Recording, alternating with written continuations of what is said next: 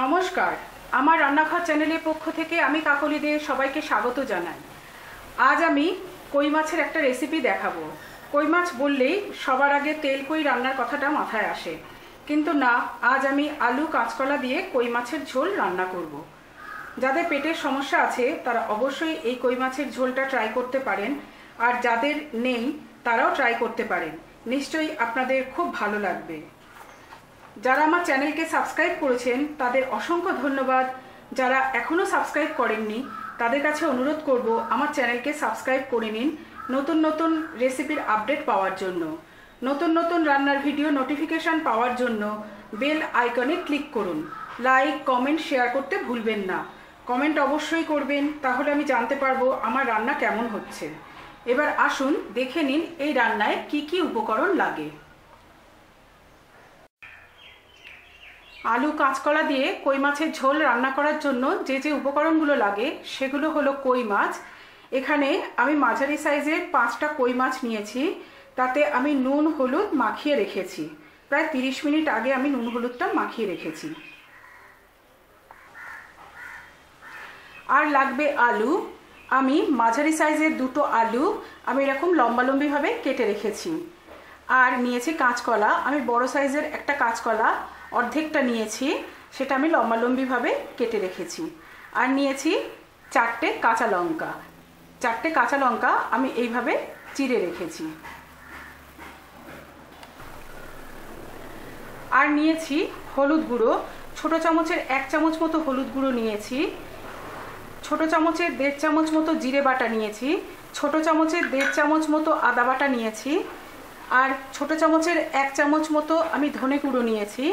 আর একের চার চা চামচ মতো আমি গোটা জিরে নিয়েছি। এছাড়া লাগবে নুন আর আমি রান্নাটা সর্ষের তেল দিয়েই করব। এবার আসুন দেখে নিন কীভাবে আমি রান্নাটা করি।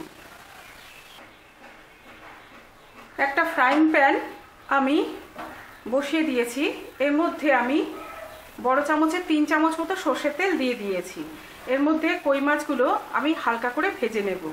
কই মাছ একটু হালকা করেই ভাজবো। আমি বেশি কড়া করে ভাজবো না।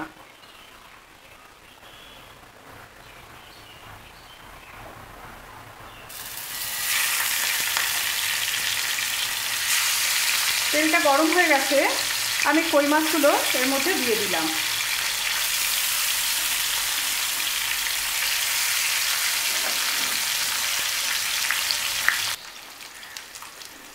গ্যাস ওভেনের ফ্লেমটা আমি মাঝারি করে রেখেছি। দেখুন, কই মাছটা আমার এক পিঠ ভাজা হয়ে গেছে। মাছটা আমার ভাজা হয়ে গেছে। এবার আমি এটা একটা পাত্রের মধ্যে তুলে নেব। দেখুন, দু পিঠি আমি হালকা করে ভেজে নিয়েছি। এবার আমি এটা একটা পাত্রের মধ্যে তুলে নেব।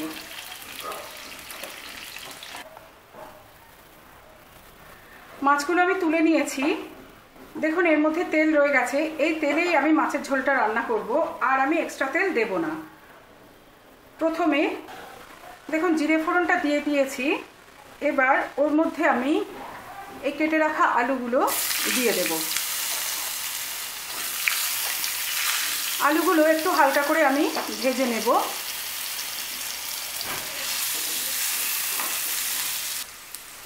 দেখুন, আলুগুলো আমি হালকা করে ভেজে নিয়েছি। এবার এর মধ্যে আমি কাঁচকলাগুলো দিয়ে দেব। কাঁচকলাগুলো আমি একটু হালকা করে ভেজে নেব। কাঁচকলাগুলো দিয়ে দিয়েছি। এবার এটা একটু হালকা করে ভেজে নেব। গ্যাস ওভেনের ফ্লেমটা আমি মাঝারি করে দেব। মাঝারি করে দিয়ে আমি ভাজবো।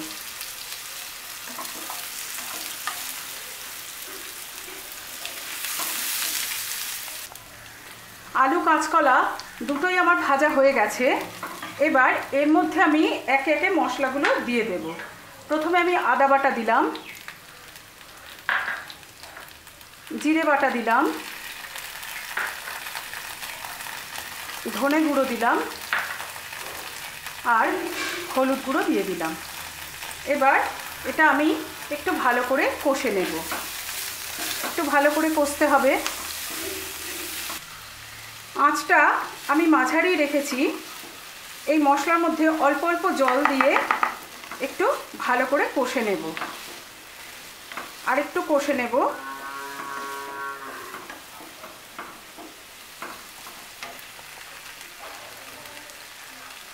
দেখুন, মশলাটা প্রায় তেল ছেড়ে দিয়েছে।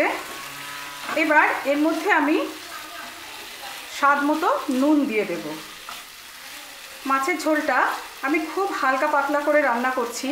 বেশি তেল মশলা দিচ্ছি না।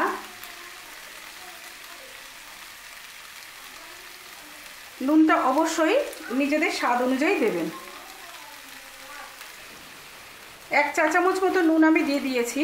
যদি লাগে, আমি আবার পরে দেব। এই মাছের ঝোলটা খুবই হালকা পাতলা হবে। এটা খেতে খুবই সুস্বাদু হয়। আপনারা অবশ্যই এটা চেষ্টা করে দেখতে পারেন। এবার এর মধ্যে আমি কাঁচা লঙ্কাগুলো দিয়ে দিলাম। নুন আর ঝালটা আপনারা নিজেদের স্বাদ অনুযায়ী খাবেন।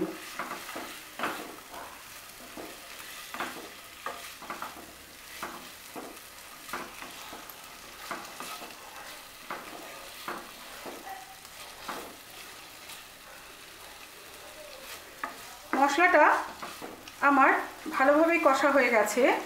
এবার আমি এর মধ্যে পরিমাণ মতো জল দিয়ে দেব। আমি এতে দু গ্লাস মতো জল দিয়ে দিয়েছি আর গ্যাস ওভেনের ফ্লেমটা বাড়িয়ে দিয়েছি। এবার এই ঝোলটা ফুটে উঠলে আমি একটা ঢাকা দিয়ে দেব।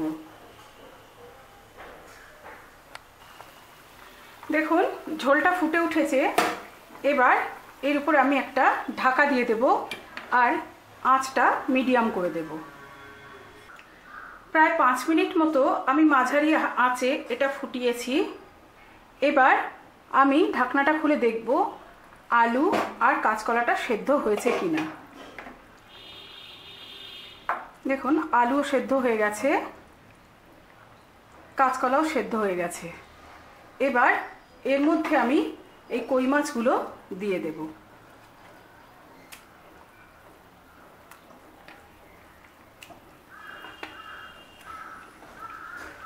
ভাজা কই মাছগুলো আমি এর মধ্যে দিয়ে দিলাম। আরও দু মিনিট মতো আমি এটা ফোটাবো। এবার আমি আঁচটা বাড়িয়ে দেব।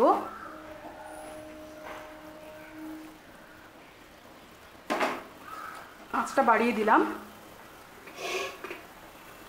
এটা আমি আরও দুই মিনিট মতো ফুটিয়ে নেব।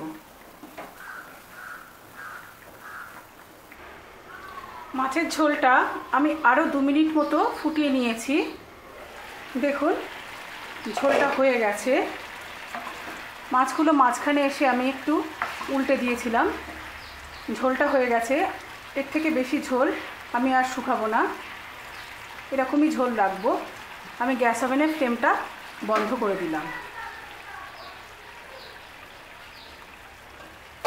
এবার এটা আমি একটা পাত্রে তুলে নেব।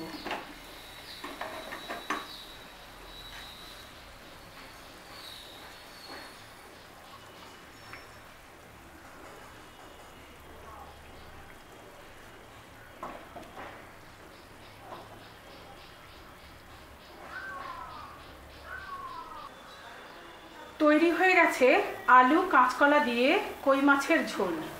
এটা খেতে খুবই ভালো হয়। আপনারা এটা অবশ্যই বাড়িতে রান্না করে দেখুন। আপনাদেরও নিশ্চয়ই খুব ভালো লাগবে। আর এই রেসিপিটা যদি আপনাদের ভালো লাগে, তাহলে লাইক কমেন্ট শেয়ার করতে ভুলবেন না। এটা আপনারা বাড়িতে তৈরি করুন এবং আপনাদের বহুমূল্য মতামত আমাকে জানান। এই ভিডিওটি শেষ পর্যন্ত দেখার জন্য অসংখ্য ধন্যবাদ। সবাই ভালো থাকুন হাসি খুশি থাকুন। এবার আমি আসি, আবার নতুন কোনো রান্না নিয়ে উপস্থিত হব আমার রান্নাঘর চ্যানেলে। নমস্কার।